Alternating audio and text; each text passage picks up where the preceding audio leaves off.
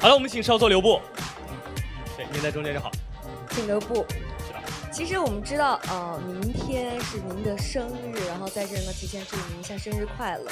生日快乐！对的，马上要生日了，您有什么就是感悟吗？或者是说在新的一岁想要去做到的事情，或者是想说的话？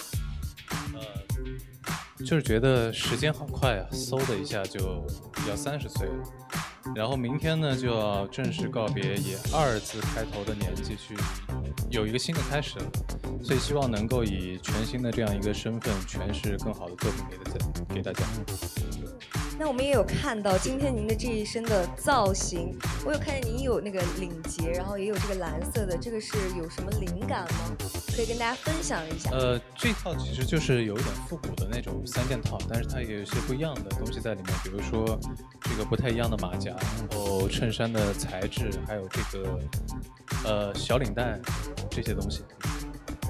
那您接下来的话有一部现代，有一部古装，跟大家介绍，您可以就是再跟分别的跟大家介绍一下这两个作品吗？呃，接下来还有两部作品要跟大家见面，一部呢叫做《请和这样的我恋爱吧》，我在里边饰演的是一个比较傲娇的杂志主编叶寒，然后还有一部呢是古装，饰演的是一个武力值非常高的世子，叫做顾妍希，请大家多多期待。